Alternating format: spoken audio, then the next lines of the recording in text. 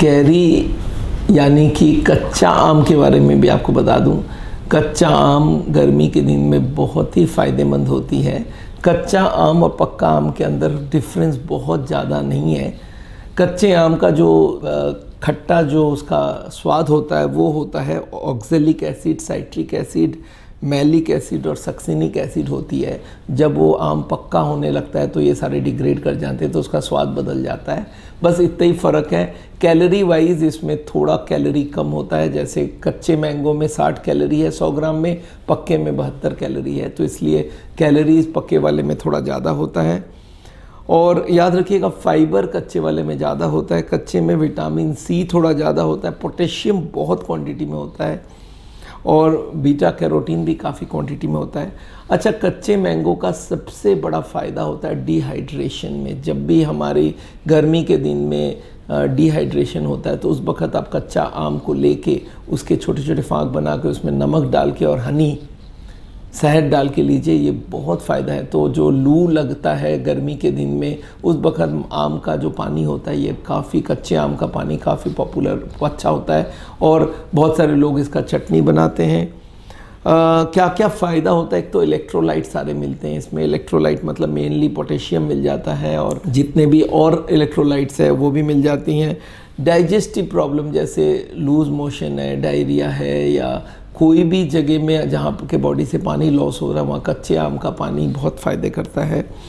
और इसमें digestive juice के तरह जो डाइजेस्टिव जूस है उसको सिक्रीट करने का ताकत होता है कच्चे आम में, और इस एसिडिटी हर्ट बर्न और मॉर्निंग सिकनेस और वॉमिटिंग टेंडेंसी में कच्चे आम का काफ़ी सेवन किया जा सकता है। हार्ट के लिए अच्छा इसलिए कि इसमें विटामिन बी थ्री होती है, फाइबर होता है, नियासिन को vitamin B B B three बोलते हैं। नियासिन होता है, फाइबर बहुत होता है, एंटीऑक्सीडेंट्स होता है।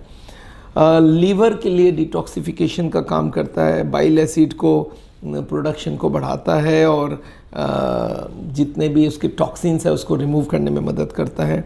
दांत के लिए बहुत अच्छा है क्योंकि वो विटामिन सी इसमें होता है। इम्यूनिटी बढ़ाता है कच्चे आम से तो कच्चे आम जिसको हम कैरी बोलते हैं उसको लिया जा सकता है।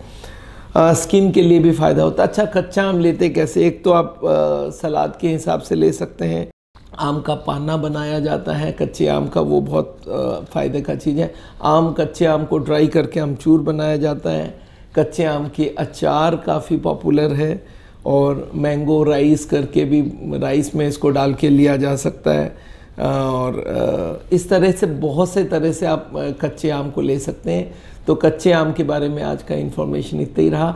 कच्चा पक्का आम में कैलोरीज का थोड़ा डिफरेंस है। इसमें कच्चे वाले में पोटेशियम ज़्यादा है, उसमें पोटेशियम कम है, ये थोड़ा खटाई होती है, उसमें खटाई नहीं है। बस इतना ही फ़र्क है अदरवाइज़ कच्चा आम भी आप ले सकते हैं। वज़न के हिसाब से इतनी कोई ज़्यादा नहीं है।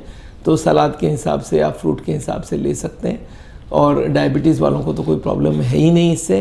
तो आज यहीं पे रोकते हैं। मेरा नाम डॉक्टर बीमल छाजड़ है। हार्ट के बारे में जितने तरह के इन्फॉर्मेशन मैंने अपने यूट्यूब चैनल में डाल के रखा, वो कहीं नहीं मिल सकता। आप ज़रूर हार्ट के पेशेंट्स को इसको रिकमेंड कीजिए।